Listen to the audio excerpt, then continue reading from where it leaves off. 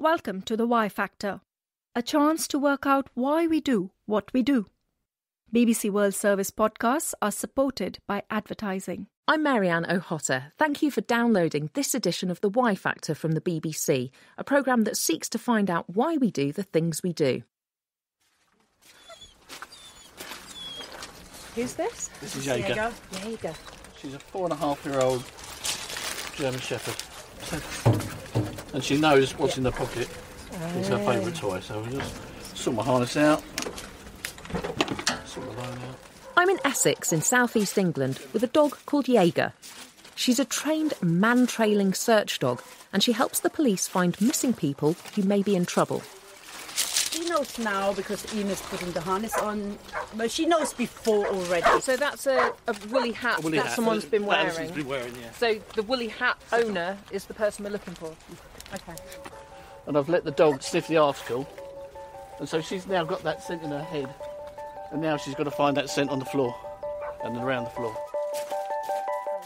This is the Why Factor on the BBC World Service. I'm Mary-Ann Ochota. This week, dogs. Whether you love them or hate them, it's undeniable that we have a close and complex relationship with man's best friend. Have they always had a special place in our lives? And if so, why? When she's running like that, she's hunting for it. Jaeger's just running through the grass, sort of a fairly brisk trot. Powering through the grass, I mean, there's no obvious trail here, but she clearly knows where she's going, and it must be that she can smell that person.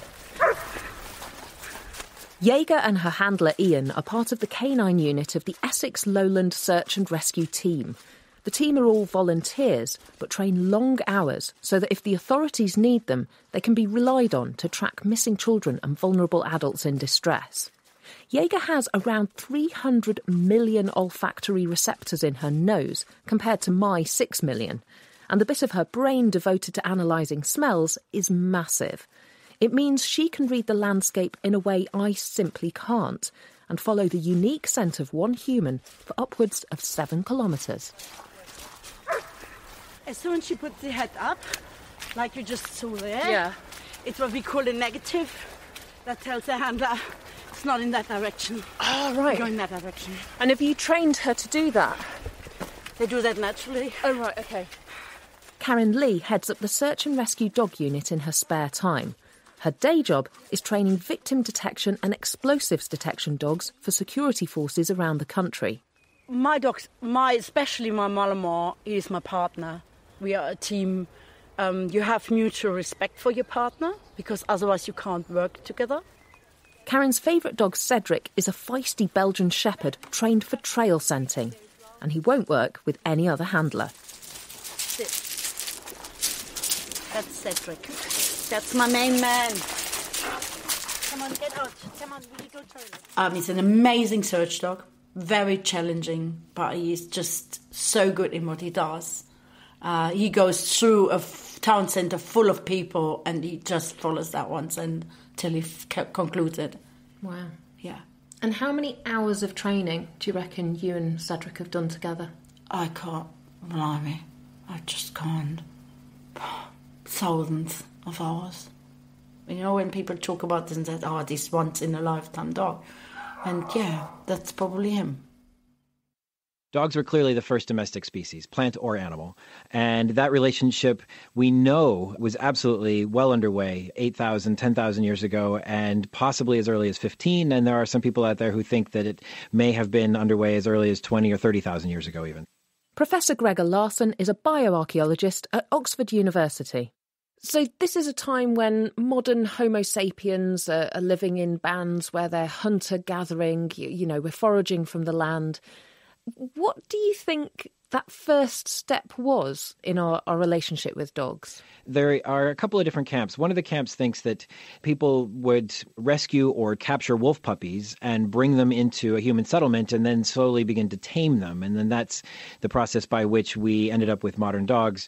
Another group which thinks that the initial phases of the process were much more unintentional and probably had more to do with a kind of emergent process whereby a pack of wolves started getting used to hanging out with people and vice versa. And then slowly that pack of wolves started separating off from a variety of other wolves. And then they become actively associated with people uh, when we're hunting things. And the, then, of course, their use just goes to the roof. And then since then, we've been finding a million things that they can do for us, uh, much to our shared benefit.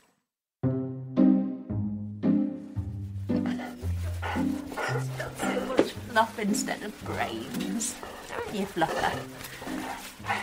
This is my pet dog, Harpo, a nine year old chocolate Labrador with big golden eyes, floppy ears, and a love of belly scratches and chewing on bones. I love him a lot. We've tried obstacle races, obedience tests, and we go hiking and camping together. Perhaps we're tapping into our deep ancestral bond, Homo sapiens and Canis familiaris, hanging out just like we have for more than 10 millennia. What a clever dog! What a clever donkey! What a clever fur monkey! Oh, bless you! Ah. We've trained dogs to detect cancer, alert their owners before an epileptic fit or diabetic episode, and they've helped rehabilitate people who've had strokes. Trained dogs find guns, drugs, bombs, and bodies, and hundreds of millions of pet dogs give their owners joy every day. Oh, this is Mitzpah. He's a border collie, much loved, quite a rascal, and goes with me almost everywhere. Rabbi Jonathan Wittenberg lives in London with his family and pet dog Mitzpah. He's written a book called Things My Dog Has Taught Me About Being a Better Human. The more I thought about it, the more I realized that what I was writing about were also the connections between people. Themes like faithfulness, kindness, cruelty, welcome, listening, asking, illness, grief and loss. And that obviously the dog is very much part of what I write. But if I was writing about my experiences as a rabbi trying to care for a community over many years, a lot of the things I wrote would be focusing on the same emotions, same struggles. Do you think your dog has made you a, a better person, a, a better rabbi? I think so. I think I've been made more alert and more aware, and I hope more sensitive. I mean, just on a basic level, that when are we going to go for a walk? Look, which dogs give you, and sometimes at, you know, I've been in this area of Kenwood at midnight with him, and at first you think, oh, it's cold. Do I have to? And then you go out and you see the moon, and you're among the trees late at night, and it's wonderful. It deepens the appreciation of life. They're next of kin in a way, in the sense that kin is about kindness and closeness. Yeah, when um, people say, oh, but it's just a dog, I think, oh, you don't know, do you? You don't know. It's never just a dog. I agree. I mean, I, I don't equate the complexity and the range and the fullness of relationship with a fellow human being with a relationship with a dog, but it's never just, it's never just a dog.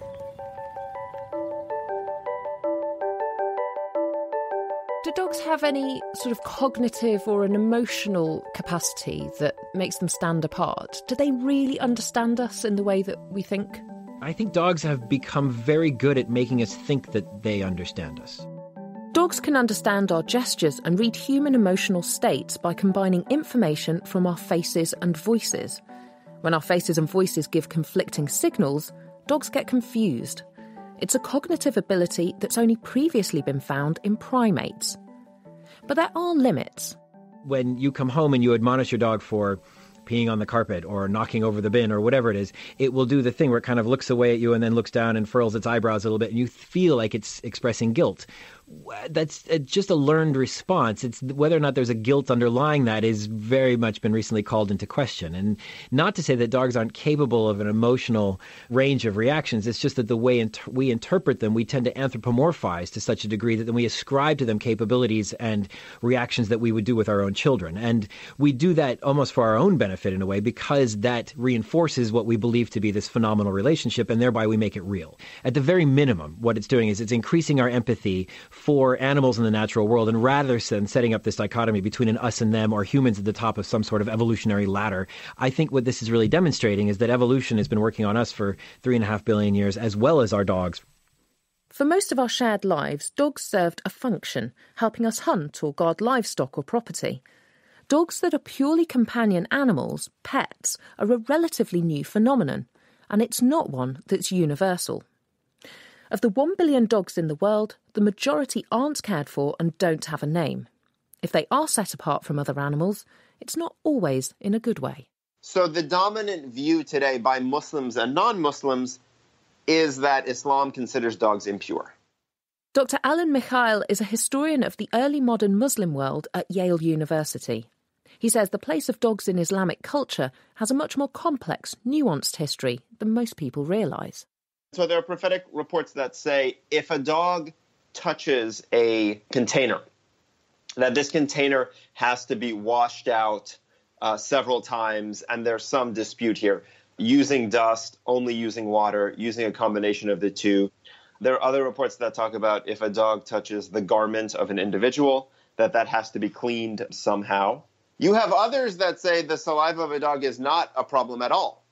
There are some that say the prophet prayed in the presence of dogs. There are some Muslim theologians who will say that anything in nature, because nature is created by God, is pure. Why is there such a focus on dogs rather than other animals? That's a good question. One of the reasons is that dogs were everywhere. Muslims, up until very recently, like most people up until very recently, and by very recently I mean, say, you know, 1800, lived in rural societies where dogs were important for herding, for hunting, for protection.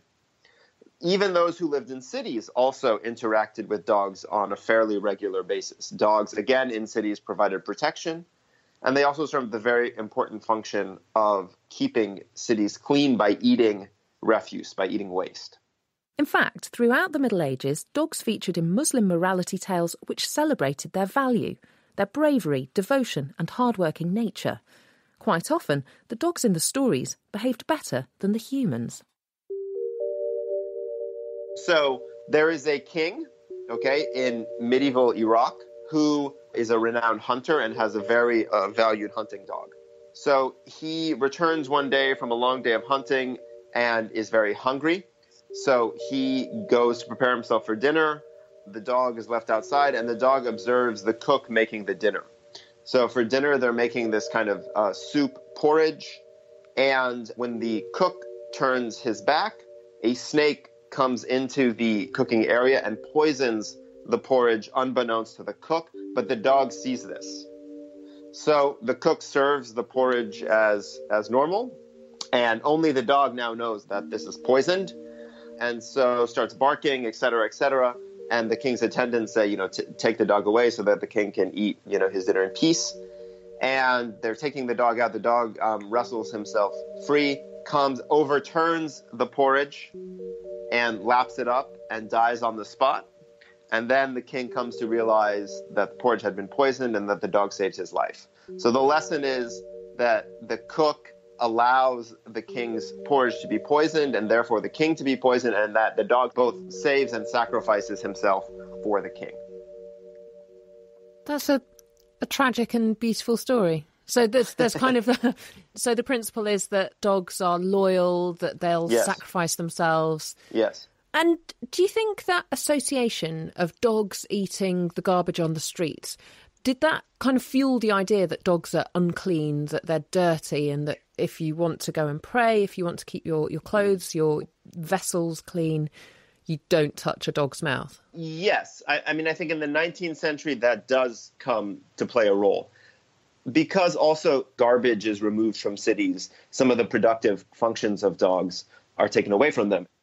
And as more people moved to urban areas, working, farm, and hunting dogs were less common as well. Historically, that's the point where we see dogs creeping towards taboo. So, in, in, this moment in which you know garbage is removed from cities and dogs are pushed out of cities, is the first time that we have widespread human violence against dogs. So, in cities like Cairo and Istanbul, dogs are rounded up in various moments and either shipped off to sea and drowned or killed in some other way.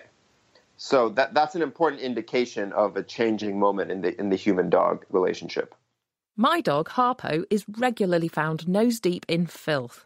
I once chased him up a hill as he tried to run off with maggot-ridden sheep entrails he'd found. There's no denying that dogs are dirty, smelly, and sometimes really disgusting. You looking me in the face, you dirty doggy. Ooh, what are you doing? Ooh. Ooh, you smell like fish. but I still let him sleep on our bed and sit on the sofa with me. Studies have shown that stroking a pet releases oxytocin, the so called loving hormone, and inhibits adrenaline and cortisol, the stress hormones. Quality time with a dog, if you like dogs, can also lower blood pressure, reduce the risk of depression, and even help patients recover from cancer treatment. But in some places, Harpo would be more prized for his other features. It's very different from pork. It's a special taste. To the dog meat lovers, dog meat has a special fragrance. It's very tasty. Some people call it fragrance meat. Zhao Nanyuan is a retired professor in Beijing who passionately defends his right to eat dog. In some places, this is a very, very old tradition from ancient China. People think eating dog meat is really nutritious, especially in the winter. There are many places in China that breed dogs for their meat. In rural areas, people might breed dogs as guard dogs, but at some point, they might decide to eat their dogs. That's not a problem. Dogs are descended from wolves. The idea that they are man's best friend doesn't make sense. Maybe because the Westerners think everything is created by God. They think maybe God created dogs to be humans' best friend. But we Easterners don't think so. Go to the 2,000 year old tomb of Emperor Jingdi in Xi'an, and you can see terracotta models of hunting dogs and eating dogs. They have pointy ears, curly tails, and stocky, meaty bodies.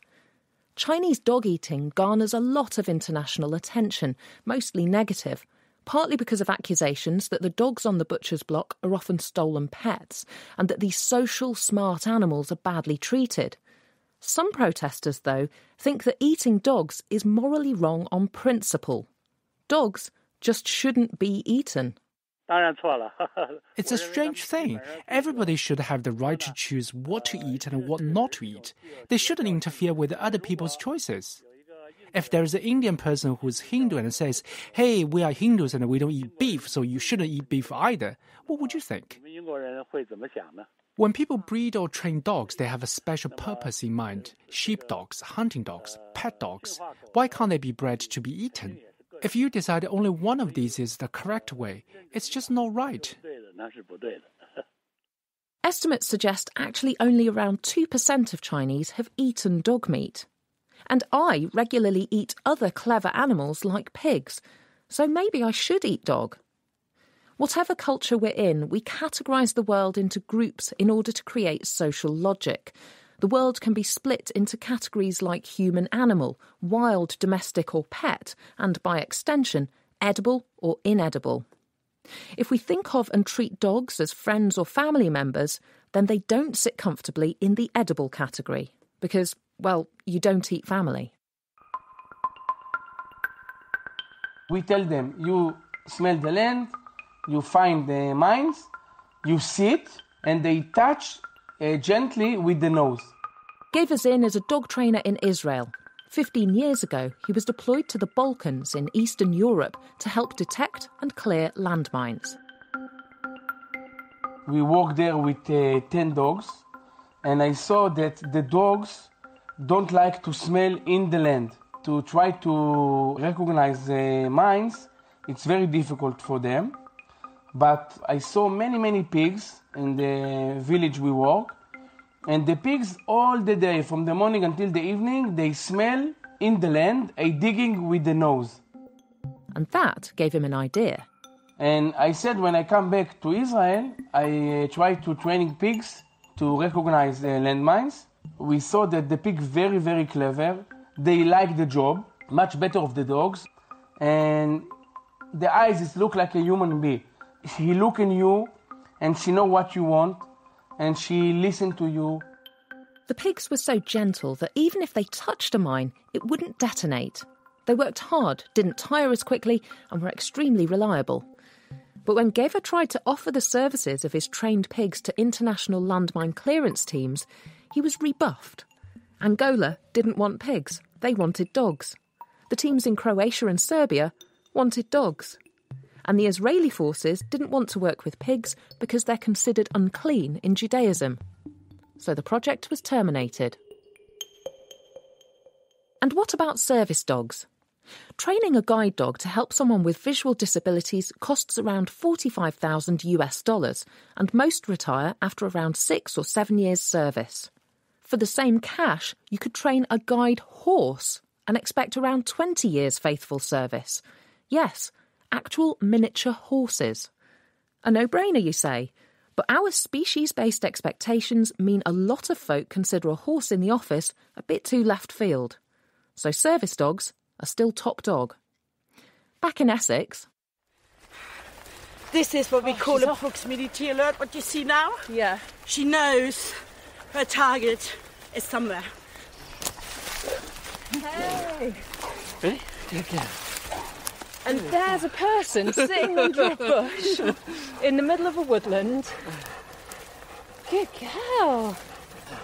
So that last 20 yards, yeah. you've been dragged through the yeah, woods. Because she knows it's there.